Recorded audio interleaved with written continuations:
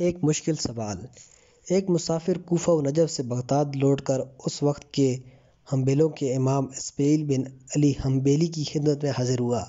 اسماعیل نے مسافر سے خواہش ظاہر کی کہ جو کچھ تم نے کوفہ و نجف میں دیکھا ہے اسے بیان کرو۔ مسافر نے واقعات نقل کرتے ہوئے انتہائی افسوس کے ساتھ عید غدیر کے دن شیعوں کے خلفاء پر شدید اعتراضات کا ذکر کیا۔ حنبلی فقہ اسماعیل نے کہا، ان لوگوں کا کیا قصور ہے، یہ در تو خود علی نے کھولا ہے۔